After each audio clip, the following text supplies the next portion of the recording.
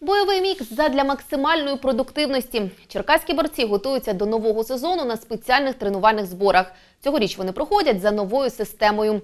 Юнаки освоюють елементи різних видів спорту одночасно. Працюють у залі місцевого клубу «Грізний» під керівництвом одразу кількох тренерів.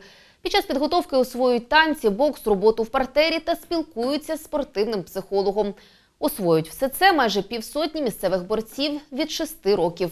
Ранішні тренування направлені на те, щоб дитина і отримала емоцію, і отримала е, якісь фізичні навантаження, і отримала якісь знання. Вечірні тренування це вже повністю відпрацювання е, партер, стійка, те, що ми зараз дивимося, тобто ціленаправлено на наш вид спорту. Та стараємося рівномірно розділити навантаження, щоб і в технічному плані дітки зросли, і в фізичному плані не забувати, тому що скоро починається новий змагальний період.